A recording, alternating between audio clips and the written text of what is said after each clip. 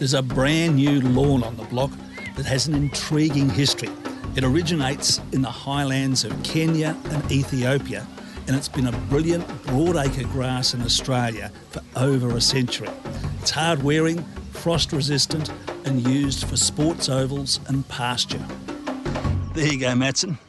Well, years of patient scientific selection have led to the development of this particular lawn. Now, it's called Village Green and it's a compact, domesticated form. I reckon it's the coming thing in lawns, particularly for home gardens. And the reason? It's just so family friendly. I mean, look at this lot. Today, turf is grown in huge farms like this, under licence across the country. And it's important that when you're buying a lawn for a lifetime, that you get a certificate of authenticity because you don't want a dodgy imitation.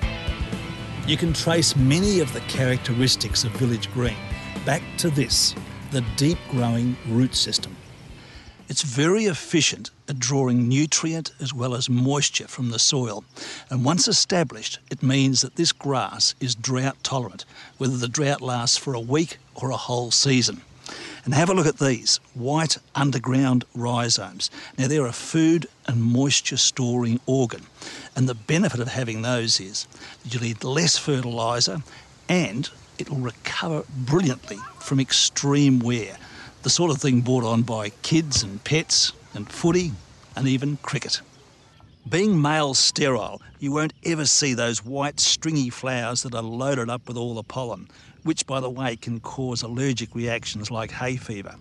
Now, being sterile also means that the plant sets no seed, and those seedlings can be very invasive.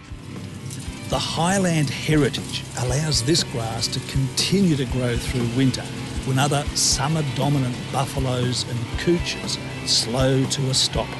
The result? Good colour, wear recovery, and weed suppression in the cooler seasons. Now, if you live in the tropics, unfortunately, the news is not good because Village Green won't perform. However, if you live from South Queensland all the way around the bottom of the country to Carnarvon in the west, this is a winner.